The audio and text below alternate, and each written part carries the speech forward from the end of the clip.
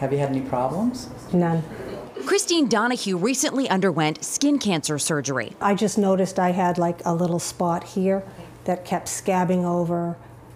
It never really healed. She was referred to Dr. Victor Neel, director of dermatologic surgery at Mass General Hospital, after a biopsy showed cancerous cells. He scheduled her for Mohs surgery, a technique developed in the 1940s to remove skin cancer on the face. It's a way that we are able to very carefully map where the tumor invades on the skin.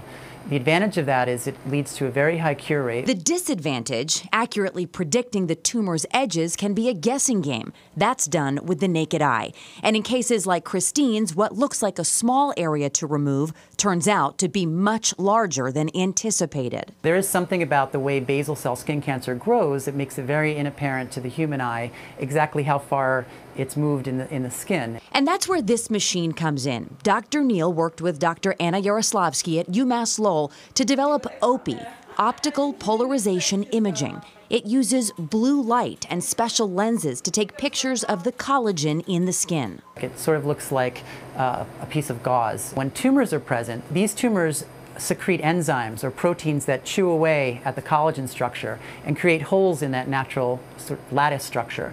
The purple area is cancerous, and these images help the surgeon know precisely where the cancer is before surgery starts.